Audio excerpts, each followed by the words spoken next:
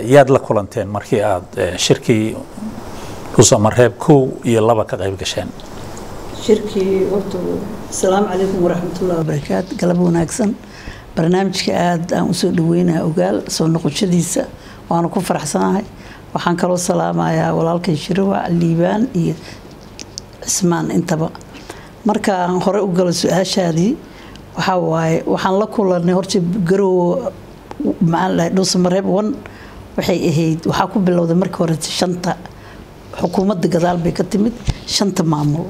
Marka waxaan la kulanay shanta maamul annagoo weliba kaashanayno dhismaha sida u soo sheegay guddoomiyaha waxaa matalaya gobol walbaba laba qof oo matalaad ah. Marka annagoo taa kaashanayno ayaa mar walbaba waxaanu horkacayay gruubka civil society-ga ka imaaday statekaas. Waa noo fududeynayay waxaan la kulanay shanta guddoomiye waxaan u sheegnay xaaladda. Ayaan kala darisnay iyo sida ay tahay. Iyo in la rabo in la sameeyo tanaasulaad badan. Oo bulshada tanaasulaad ay u baahan tahay. Maanta isjijiid iyo hebelaa sada yiri ay dhaheen.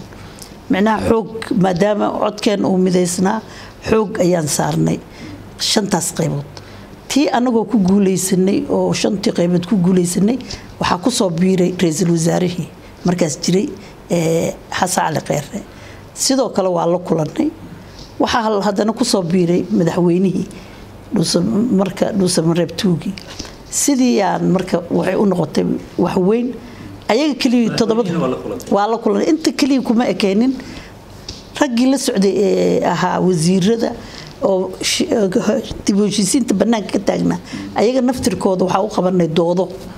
Doodaan u qabanay fikradahooda meeshay kala joogaan si aan u miisaano oon iskugu soo dhaweyno oo iyaga naftirkooda fikradaha kale waayo aan wada hadalno waa aan heshiino marka waxaa u malaysaa waxaan yeelanay asxaab oo nooga sokaysa hato nimankaas waaweyn ayaan ka yeelanay nimankii la socday naftirkooda saaxiibo dhowaan hadda ku leenahay.